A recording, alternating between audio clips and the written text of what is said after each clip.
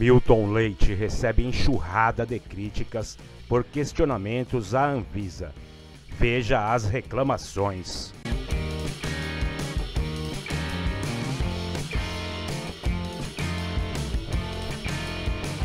O adiamento do jogo entre Brasil e Argentina teve abordagens diferentes nos canais esportivos do Grupo Globo.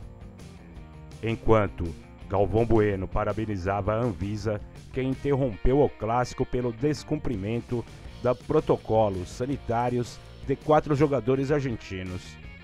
Milton Leite não seguiu o mesmo caminho. Nas redes sociais, o narrador recebeu críticas. No Twitter, o nome de Milton Leite teve destaque durante e após a polêmica entre a seleção brasileira e a Argentina. Internautas destacaram também a diferença dos posicionamentos de Galvão e Milton.